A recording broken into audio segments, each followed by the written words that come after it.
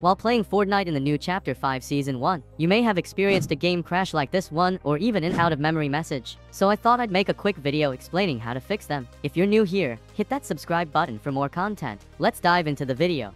Click in Library. Click on the free horizontal dots. Click on Manage. Make sure that your GM files are all verified. Via click and be verified button. It shouldn't take too long. And all it does it pretty quick. And this will make sure you got V latest up-to-date files and they all verified and all good to go. And once you verify your gym file, if you go back into the options, then click on manage. Inside here, under V launch options, they recommend adding an additional command, which is dash D3D11. And what this will do is, it will put your game into DirectX 11. Go to my website and download the fix error files. I give link in description and follow me how to fix your error. Install all Visual C++ files to resolve Fortnite crash report errors and ensure smoother gameplay. Install DirectX 12 to troubleshoot Fortnite crash reports and improve overall game stability and performance. Install DirectX 11 to resolve Fortnite crash reports and ensure smoother gameplay experience while running Fortnite. Install Rundy Map Pack x86x64 to troubleshoot and resolve Fortnite crash reports, ensuring smooth and uninterrupted Fortnite gameplay. Another thing they recommend doing is opening up the Epic Games Launcher, heading over to Library. Then where you see Fortnite, click in on B free horizontal dots. Then click in on Manage, and under V Installation. If you click on B, open Install Location inside the Fortnite game folder. Then under Binaries, then Win64. If you scroll down to find the client itself, that's the Fortnite client Win64 dash Japan.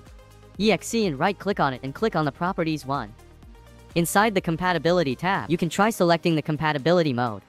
Click Run this program in compatibility mode for Windows 8. And then in addition to that, they recommend that you tick the Disable Full Screen Optimizations. Then click Apply and OK. Go into the search bar and type in background. Apps like so. And then select that one. And then inside here, you can see that Windows actually lets apps run in the background by default.